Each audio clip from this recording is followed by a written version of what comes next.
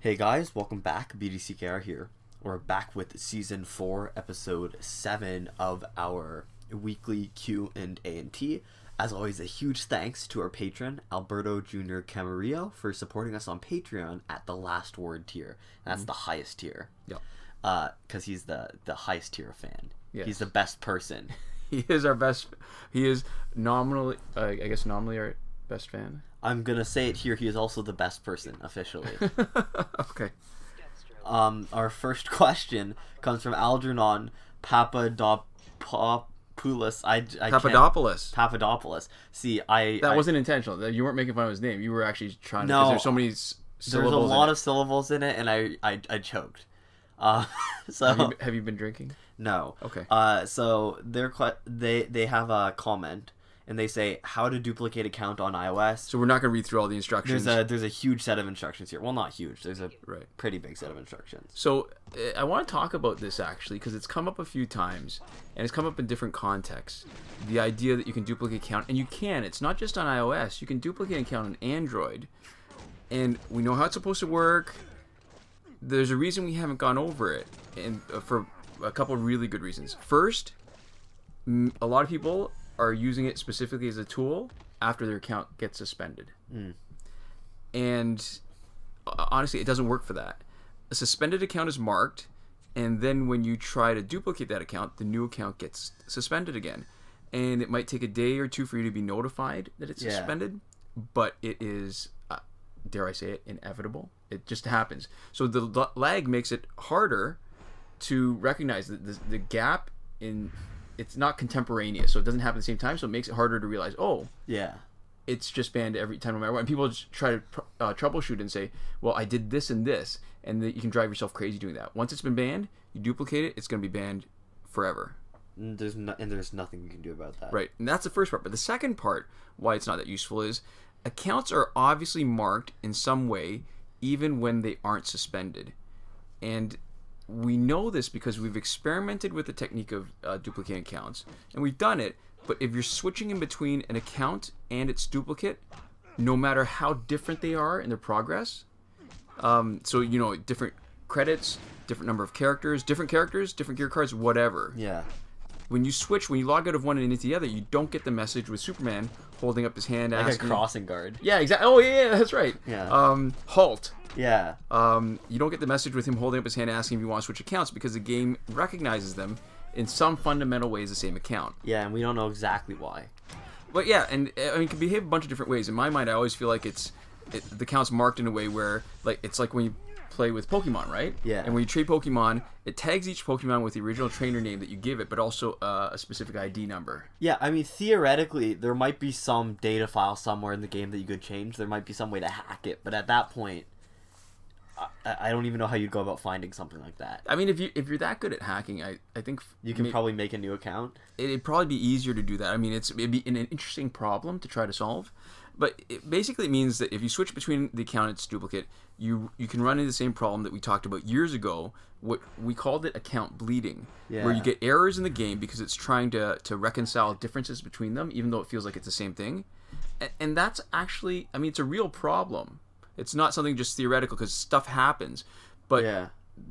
the theoretical problem is if you're using account duplicates and if you're not starting out with a banned account, but you're duplicating one that's not banned and you're playing around with all of them, it would be really easy for Warner Brother to ban every other account that was duplicated from. So, so if it recognized one thing as being banned, Yeah. they haven't done it yet as far as I know, but it would be in my mind it would be kind of easy to say, okay, once this account's been marked, any other account that's marked the same way, ban that too, because the only way that it can be marked the same way is because of account duplication. Um, and in my mind, that's something that's too risky to try. At least it is for us. I mean, I'm sure lots of people do lots of other things, like running around with scissors and stuff. That's just not for me Yeah. um, you know, uh, and so that's basically the long explanation of why we're not going to an explanation for how to do it because it's something that we don't really recommend. The few times that we actually show a glitch that we actively discourage people from doing is when it's so obvious, like using uh, the credit glitch or last laugh ticket glitch in uh, multiplayer, right? Like yeah, because it's any fight, so people are gonna try it on multiplayer. Right. So we want to show it to show you that we recognize why we're why what happens with it and why we don't recommend Yeah, it the dangers of it. or it's something that's already so widespread like way back when there's years ago when we first started our our channel there's somebody it was called the death glitch right and it was basically an overselling glitch Where you could lose a character forever. yeah and that was more than three years ago and we I mean we ended up revisiting after we posted the video basically to use it a different way that was not as dangerous. Yeah. but it was there already so it's not like we were sharing anything or inst- showing people something. In both cases i guess it's not like we're showing some something that people either don't know or wouldn't be very likely to try on their own. Yeah. so in general we try to avoid things that are that are dangerous. Um, and you know showing the duplicate count doesn't really fit any one of those for anybody who's thinking oh show us how to do it.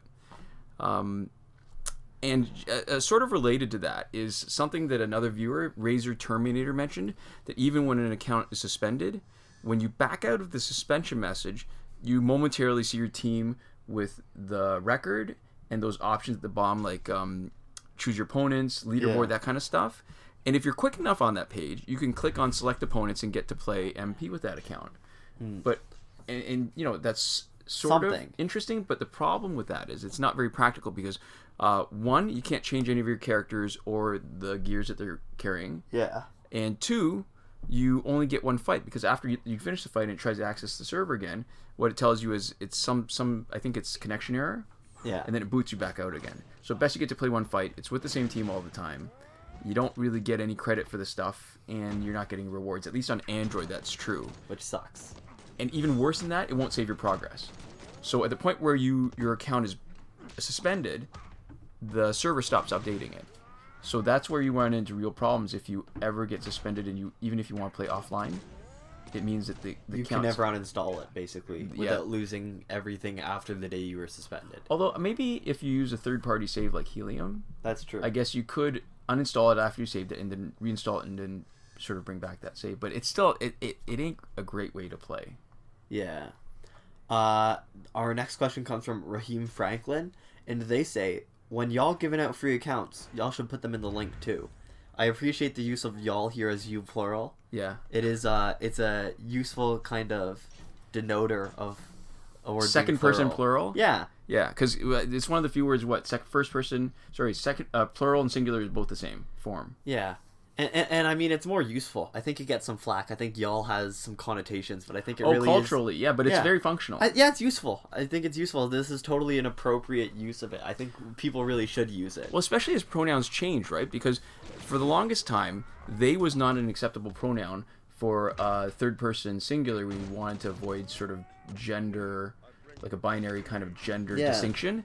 But uh, Ursula Gwynn actually. Oh, I wish I pulled that up before. She made a really good argument for Yeah. why she recognizes people don't use it, but also why she specifically does. Rest in peace, Ursula Gwynn. She passed away very recently. I love her. She did she wrote excellent books, and and the world is going to be a darker place without her. Okay, so Okay, we've so gotten very far away from the Okay, so what was my point? But, Oh, oh, uh, okay, so my when point- y'all giving out free accounts, y'all should put them in the link right, too. so this is the T part, right? I mean, Yeah. we're talking. So where he was, uh, where this comment was, where their comment was, was on the summary of update 2.18, and it's funny for a couple of reasons. Because one, we haven't given away accounts since uh, when we had, I think, one million views, and we celebrated that years and years ago. Yeah, we've given away exactly one account, Yes, and, it was and we're a at real five account. million views now. Yes, and it was a real account. It's not like one of those things where you just, you know, do like a hacked account or That whatever. was a long time. it was a long time because we were actually giving away one of this because at, at some point it's hard to keep on supporting numerous accounts and actually maintaining the content on all of them. Yeah, But it brings back to the previous question where the here's the thing the issue with giving out accounts. So either you give out a real account which takes you hours and hours of work. like tens, hundreds of hours, tons of time for any significant amount of Right. progress. I mean, we it. could give away a free account that's got three bronze characters, but I don't, don't think that's what people want. Yeah. So then you, we could do an account giveaway. That's just the default account. um, yeah, That would actually be pretty funny. It would actually. But then it goes back to the previous question where so if you're not going to do that, but you're actually duplicating accounts and giving that away, what you're running the danger of is that if somebody plays with that duplicate account and it gets banned, it's again, I'm not sure that it's happened yet, but there's a theoretical risk that because we know that those accounts are marked same way, some some way the same way, as where its origin is, right? It's like that little branch of evolution. Then you can go back and ban everything that has that mark. Pretty, I think, pretty easily. Warner Brothers Yeah. could do that, and that's not the kind of risk that we actually want to take. Man, okay, I, I kind of want to give out a, an account that's just bronze. It's an account giveaway. But what would be so special about it? I guess it's Nothing. It's, not even- absolutely Because even at least if it were say like Pokemon, we would have a distinct ID number. We could name it like It's the, a the sat. It's a BDCKR. satire of account giveaways. It It's a. be. It's all a joke. It's a big prank. All right, so but this is the other thing too, right? Like when you think about account giveaways, a lot of channels that are trying to drum up business will do that. Yeah. And I'm not sure how successful it is because where we see it is channels that are, are not very popular. And I wonder if we actually, I mean, if I watch YouTube more, I'd probably have an idea, but th- whether they actually are able to build a sustainable audience My guess would be no. Yeah, because I think it's funny, right? Because they're actually, in my mind, a good one is really valuable, but it becomes devalued when people Give just- it away. when they give it away. Because the hours of work that you put on, in my mind, if you want, it like, if it's a really good account that's legitimate, that has the ability to play MP without any risk, Yeah. really, it should be like a few hundred dollars. Probably. But I.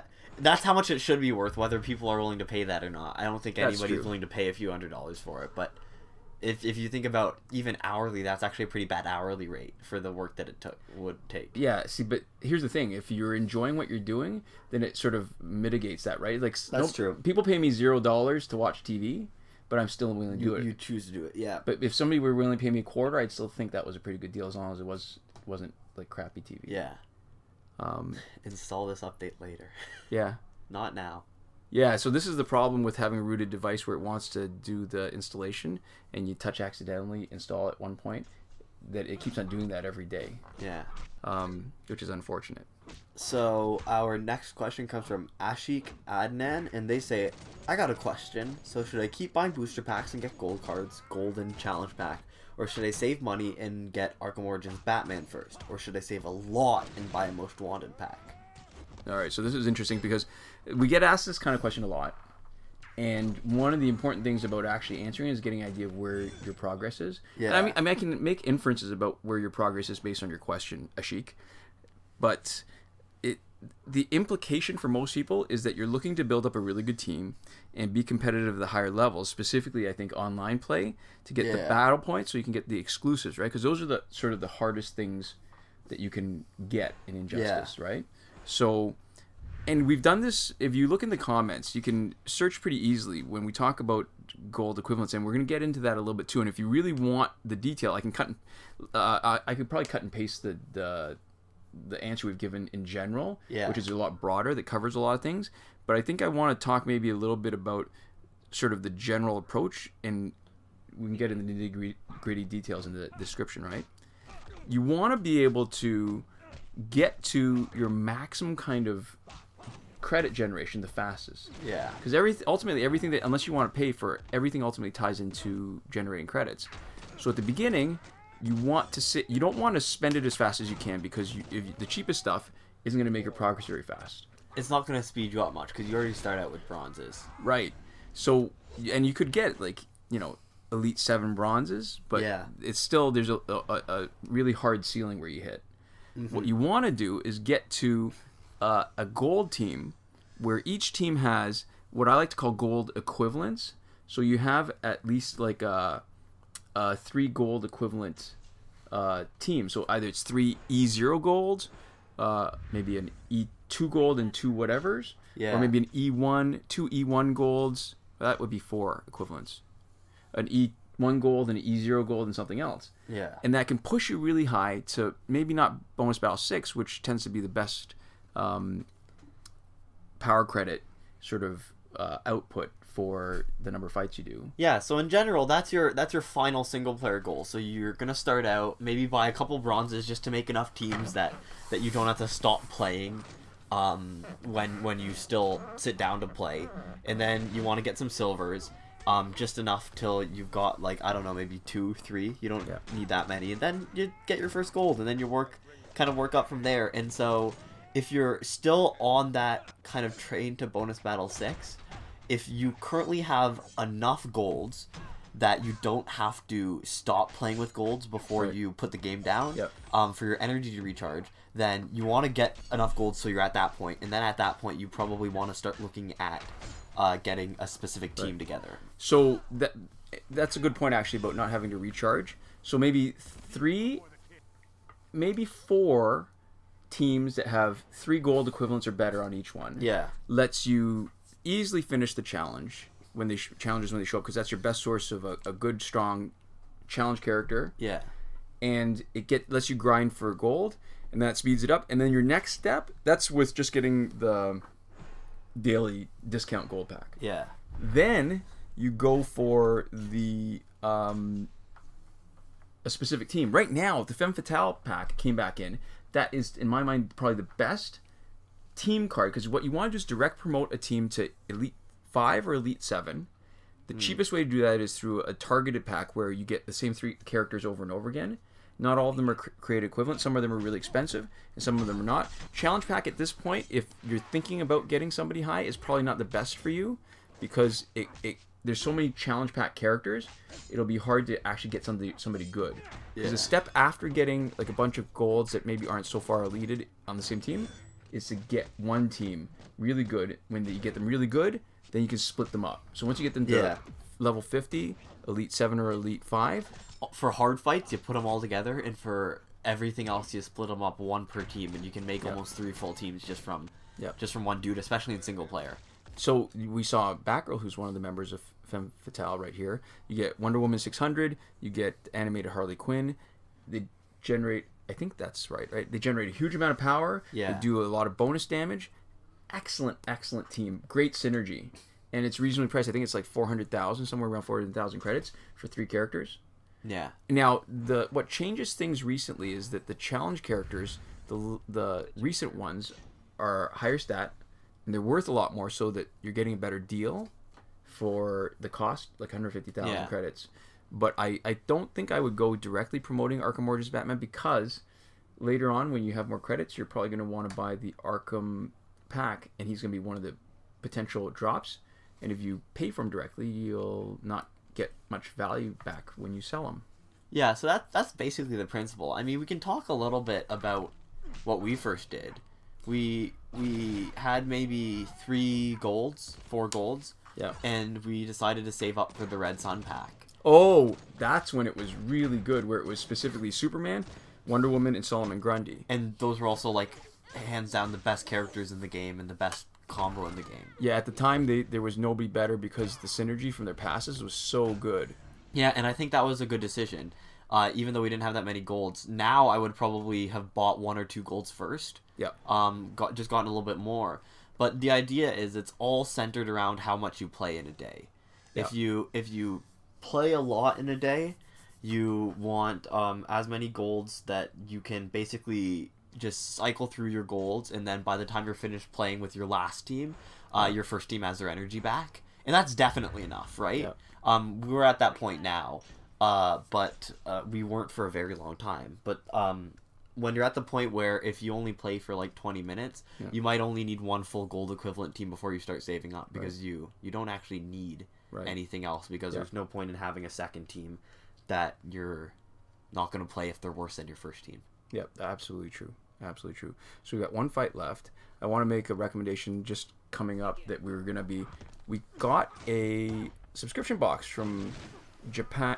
I, I was gonna pronounce it the same way you do. Japan, Japan. Ramen. So they have this I, subscription box for for some reason, ramen. I want to say Japan ramen. Like I want to, I want to pronounce it like they're rhyming, and it totally screws up my pronunciation of the word Japan, Uh, which I can yeah. normally do pretty Alright, good. So they they offered to send us a box. We're gonna be unboxing it soon. I love the idea of getting ramen from Japan that's not available in Canada otherwise, and I think they're delivering because of the, the information we've seen about what's in this month's box, and we're gonna be opening that soon, and maybe making some of it and trying it. Yeah, something about this channel makes me pronounce words poorly. I'm normally, I'm normally a little bit better at it than I am in, on- in these videos. All right, and that's a fight. Actually, that was really fast. That was less than 20 minutes. Wow. So there we go. This is normally when we do our sign off uh, complete by ourselves. but because of the last word tier supporter Alberto, it's uh, going to be a modified version. So the last word goes to our patron. Alberto Jr. Camarillo, here to address the masses. Komodo.